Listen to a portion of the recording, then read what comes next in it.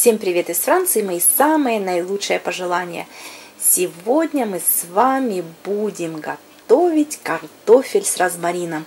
Это мой самый любимый рецепт приготовления картофеля.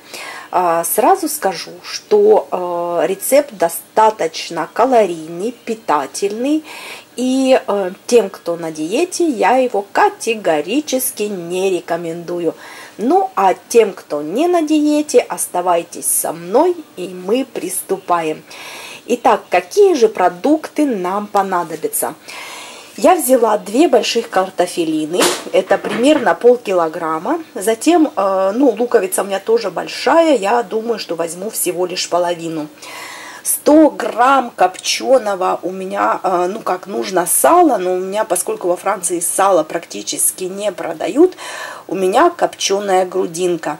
Затем 100 грамм э, белых грибов, соль, оливковое масло и, конечно же, розмарин.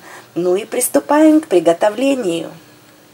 Очищаем наш картофель и половинку луковички и нарезаем вот такими вот тоненькими кружочками. На дно огнеупорной э, формы выливаем столовую ложку оливкового масла. В огнеупорную форму выкладываю картофель. Ну и как видите, посыпаю картофель розмарином так щедренько и солю. Затем выкладываю копченую грудинку.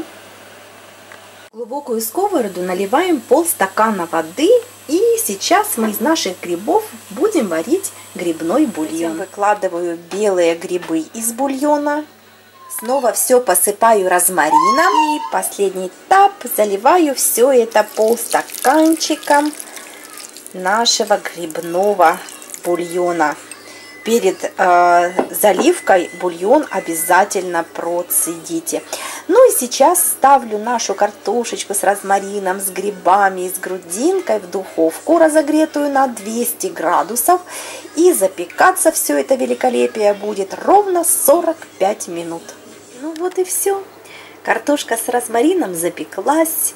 Аромат стоит просто потрясающий, но вы сами понимаете, запечь картошку в бульоне из белых грибов с копченой грудинкой, лучком и розмарином, ну, я даже не знаю, как сдерживаться, чтобы не глотать слюнки прямо в кадре.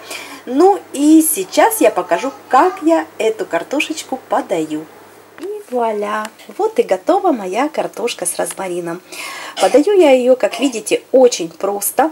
Я нарезала сладкий зеленый перец вот такой соломкой, дольки помидор, петрушечка и кружочки огурца. Соуса добавлять к овощам я никакого не буду, поскольку картошечка, она сама по себе достаточно питательная, сытная. И просто нарезанные свежие овощи, как компаньон к этому блюду, я думаю, это самый наилучший вариант. Всем большое спасибо, что вы были со мной. Желаю приятного аппетита и до новых встреч на моей кухне.